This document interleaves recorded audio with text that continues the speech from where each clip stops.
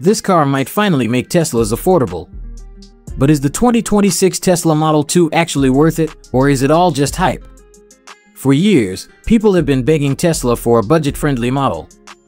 And now, it's finally happening.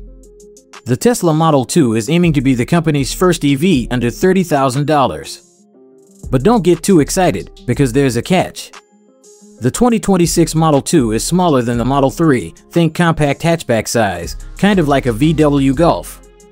But it still keeps that classic Tesla vibe, minimalist design, clean lines, flush door handles, and probably no grille at all. Inside, it's expected to be super minimal, like even more than the Model 3. One big touchscreen in the middle, barely any buttons, and yes, it's rumored to have that controversial yoke-style steering, or possibly no steering wheel at all if the full self-driving tech is ready by then.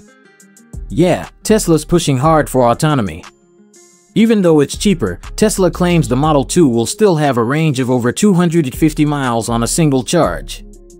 That's a big deal for an EV in this price range. It's made possible thanks to Tesla's new 4680 battery cells, cheaper to make, but more energy dense. And the price? Elon Musk has hinted it'll start around $25,000. If that actually happens, the Model 2 could totally flip the EV market. It's not just targeting Tesla fans, it's aiming at Toyota Corolla, Honda Civic, and even budget SUV buyers. There's no official release date. Tesla says 2026, but if you've followed Tesla long enough, you know those timelines love to slide. And while the idea of a $25,000 Tesla sounds amazing, it all depends on how much they cut to get there, materials, features, even build quality. Small, affordable, electric, and still gets Tesla tech. It's what people have wanted for years. But will Tesla actually deliver on time? And more importantly, will it be any good?